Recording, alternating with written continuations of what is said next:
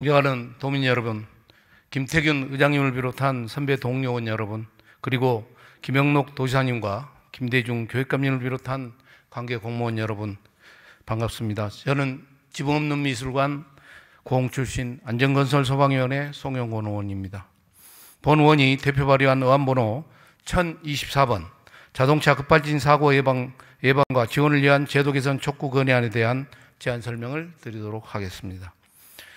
지난 100년 동안 자동차는 인류 문명을 획기적으로 변화시키며 단순한 이동수단을 넘어 우리 생활의 일부로 발전해 왔습니다.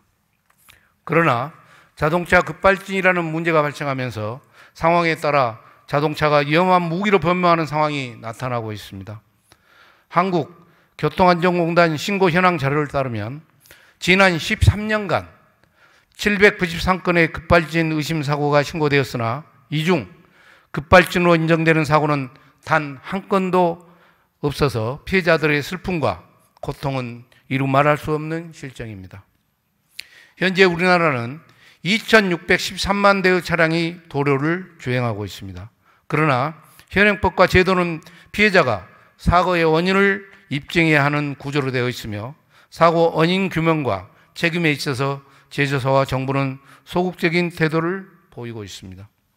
이로 인해 급발진 의심 사고가 발생하면 입증을 위한 경제적 정신 부담은 온전히 사고 당사자에게 전가되고 있습니다.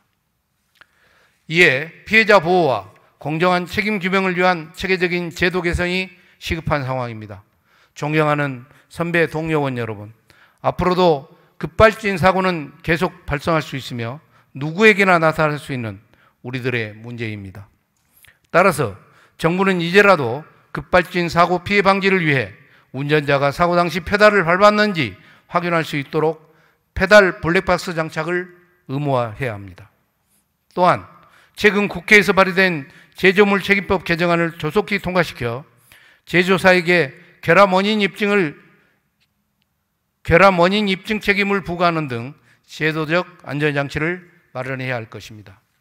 이에 본 건의안은 국가 차원의 안전한 교통 환경을 조성하기 위한 급발진 사고 대응 체계의 근본적인 개선과 대책을 마련해 줄 것을 도민의 뜻을 담아 촉구하는 것으로 본 건의안을 원한대로 의결해 주실 것을 간곡히 부탁드립니다. 보다 자세한 내용은 포니터를 참조해 주시기 바라며 이상으로 제안 설명을 마치겠습니다. 끝까지 경청해 주셔서 감사합니다.